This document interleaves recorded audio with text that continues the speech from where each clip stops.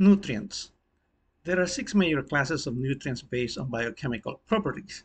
They are carbohydrates, proteins, lipids, water, vitamins, and minerals. Apart from water, which is universally required to maintain homeostasis, essential nutrients are indispensable for metabolic processes necessary for the maintenance and function of tissues and organs. Essential nutrients cannot be synthesized in the body. Non-essential nutrients are nutrients that can be synthesized by the human body, such as vitamin D. An inadequate amount of a nutrient is a deficiency. Deficiencies can be due to several causes, including dietary deficiency or any of several conditions that may interfere with the utilization of a nutrient within an organism. An essential amino acid cannot be synthesized by the human body but it is required for its normal functioning. Therefore, diet must supply essential amino acids. Examples of essential amino acids are phenylalanine, histidine, and tryptophan. Essential fatty acids are fatty acids that humans need for good health. The body cannot synthesize them. Only two fatty acids are known to be essential for humans, omega-3 fatty acid and omega-6 fatty acid. Vitamins are essential organic molecules not classified as amino acids or fatty acids. They commonly function as enzymatic cofactors, metabolic regulators, or antioxidants.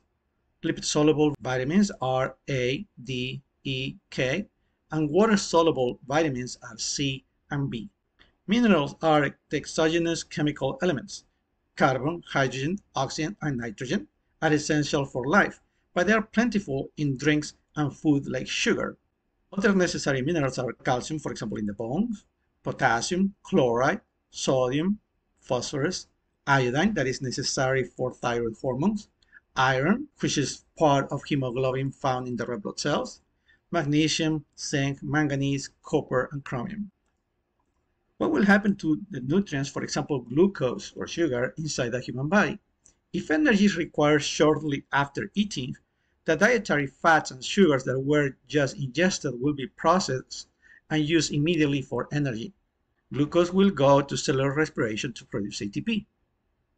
If necessary, fats will go through gluconeogenesis to produce glucose.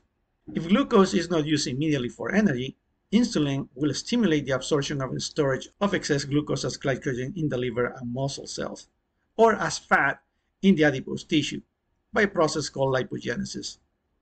Excess dietary fat is also stored as triglycerides in the adipose tissue. So as we said, glucose is stored in the form of glycogen by a process called glycogenesis. Or dietary fat or glucose through a series of processes will be stored as fat in a process called lipogenesis. Let's take a look at cellular respiration to produce ATP. Cellular respiration. Cellular respiration is a set of chemical reactions the first chemical reaction happens in the cytoplasm, and the process is called glycolysis. This is an anaerobic process. The other two steps in cellular respirations are going to happen in the mitochondria. If we make the mitochondria larger, we can see that there is the matrix in the middle. And the matrix is where the Krebs cycle or citric acid cycle or tricarboxylic acid cycle will happen. The next step is going to be the oxidative phosphorylation that happens in the mitochondrial inner membrane. These two processes, the Krebs cycle as well as the oxidative phosphorylation, are going to be aerobic processes. So cellular respiration is a set of chemical reactions that convert oxygen and glucose, as you can see here, oxygen and glucose, into carbon dioxide, water, and ATP. Carbon dioxide, water, and ATP. So the first step is going to be glycolysis. That is going to happen in the cytoplasm. Glycolysis is the metabolic pathway that converts glucose into pyruvate.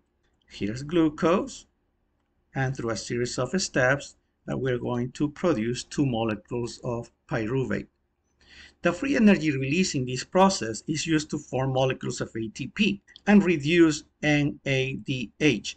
Right here you see the molecules of ATP being produced as well as NADH. The glycolysis pathway can be separated in two phases. The investment phase, where ATP is consumed, as you can see here, ATP is consumed and ATP is consumed, and the yield phase where more ATP is produced than originally consumed. You can see we produce two molecules of ATP and another two molecules of ATP. These two ATPs consumed are going to be canceled out by these two ATPs produced. So at the end of glycolysis, we're going to produce two molecules of ATP and two pyruvate and two NADH. So we have glucose. Through the process of glycolysis is going to give us pyruvate. Two of those for every glucose. Pyruvate is going to be processed to create acetyl-CoA, and acetyl-CoA will enter the Krebs cycle.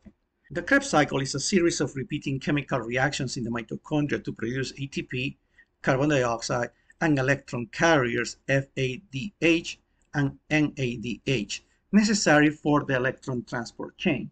The Krebs cycle will produce NADH and FADH.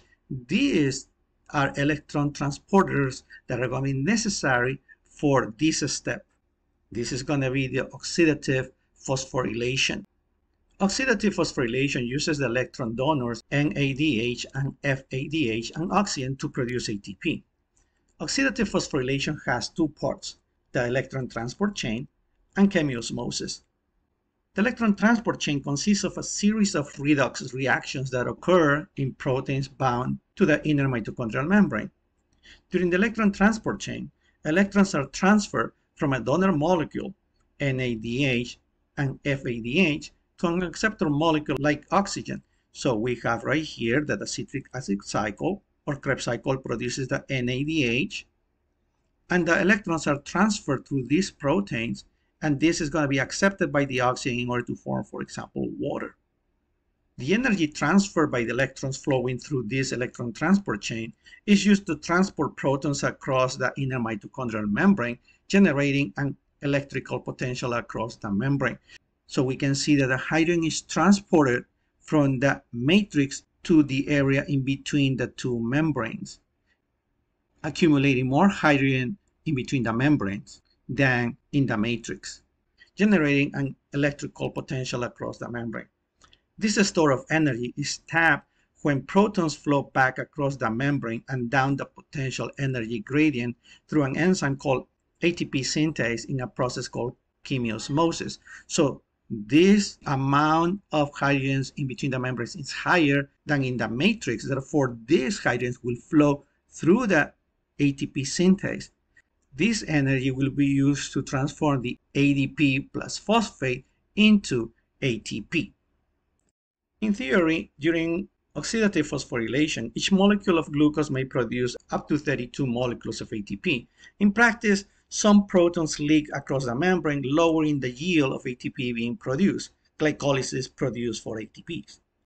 Oxidative phosphorylation is a vital part of metabolism. However, it produces reactive oxygen species such as superoxide and hydrogen peroxide, which lead to propagation of free radicals, damaging cells, and contributing to disease and possibly aging. To summarize, cellular respiration has three main steps, glycolysis, Krebs cycle, and oxidative phosphorylation. These three steps are necessary to transform oxygen and glucose into carbon dioxide, water, and ATP.